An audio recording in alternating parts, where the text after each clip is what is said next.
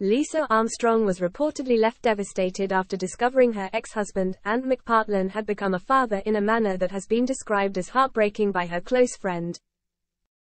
Ant McPartlin, 48, took to social media on Tuesday afternoon to announce the arrival of his first child with his second wife, Anne-Marie Corbett, 46. The couple had chosen to keep their pregnancy private for several months. Ant revealed that his baby boy is named Wilder Patrick McPartlin, writing on Instagram, Welcome to the family. Wilder Patrick McPartlin, born the 14th of May 24 at 8.54 am.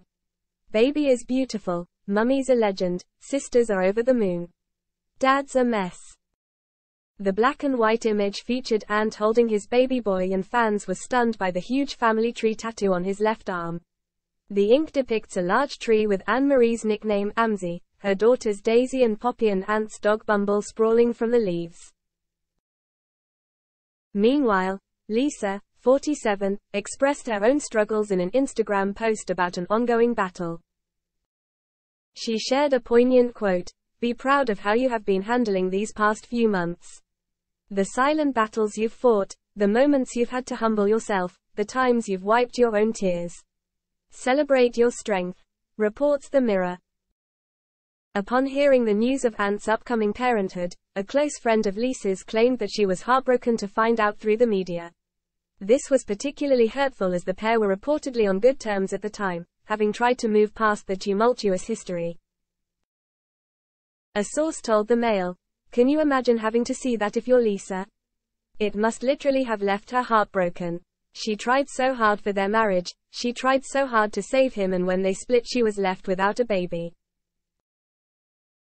The source added, It is so very sad. It broke poor Lisa, she gave him 23 years of her life, practically all of her adult life. Then when Ant is to be a dad he didn't even have the decency to tell her. She had to read about it in the mail. What makes it all the more traumatic is that she and Anne-Marie were friends. Prior to marrying Ant, Anne-Marie worked as the couple's PA. However, Ant has insisted that there was no crossover between relationships.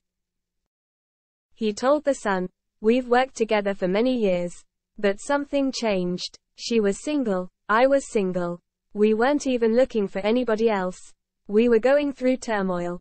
It was the last thing on either of our minds to get into a relationship. But there we were and we were like, this felt so good, why deny it?